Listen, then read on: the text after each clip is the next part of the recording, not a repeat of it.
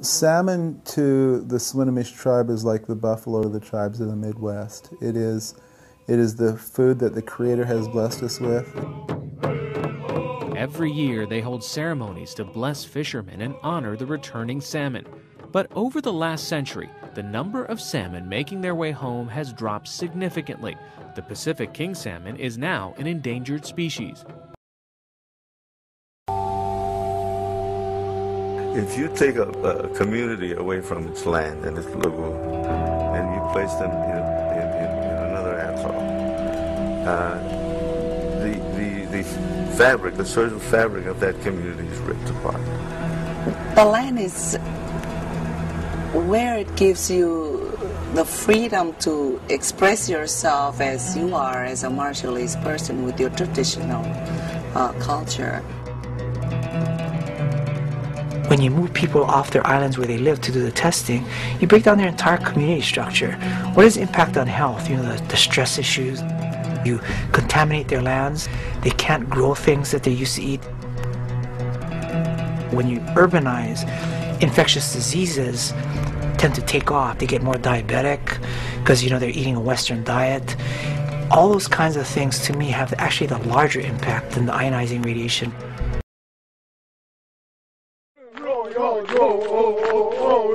Chants of resistance from the Amazon, 150 indigenous people from five different tribes going into day eight of an occupation of a work area at the Belo Monte Dam construction site.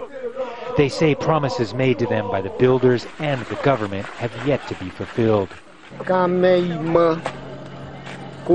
We would not be here today if the company and the government would have done what they promised to us.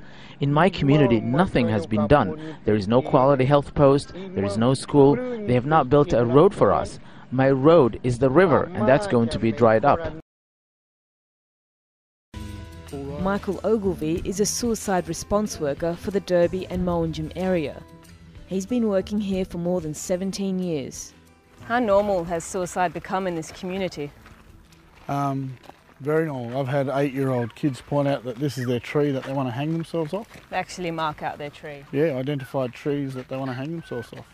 And what's the rate of suicide in the Kimberley region?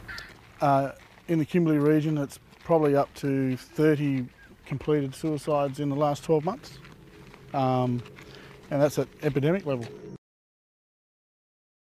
Lloyd Nolgett believes a lack of opportunity is contributing to a downward spiral. There's nothing there for them but alcohol and drugs. There's nothing exciting or good for them to enjoy. Michael Ogilvie takes us to a popular spot where adults and children go to drink alcohol. Kimberleys alone, they drink three times as much alcohol than anywhere else in Australia. You know, a normal sitting for the boys to have a drink is 90 cans of beer.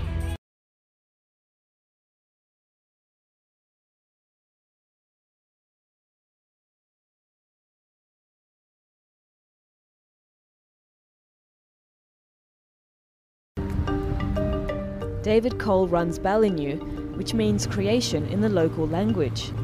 It's about giving the kids a safe place and a culturally appropriate place to just have some time out, get away from things, clear their mind, share some tools with them, give them some seeds of understanding and basically help them work through the challenges they got and give them a safe place to just let things go. And how is it culturally appropriate? The, the biggest aspect of the program is cultural reconnection. It's getting the kids um, to build their self-esteem and pride through identity and culture. And that's the, that's the key component to the program. Beach had one of the highest rates of suicide per capita in the world. At its highest point, a group of elderly ladies decided to take matters into their own hands.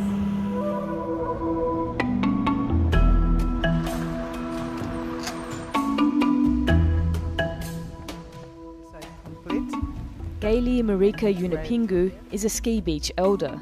She says it was the hanging suicide of a 21 year old that sparked a cluster of other suicides in her community. He was the first one to commit suicide. The first one in this community? In this community. My sister's um...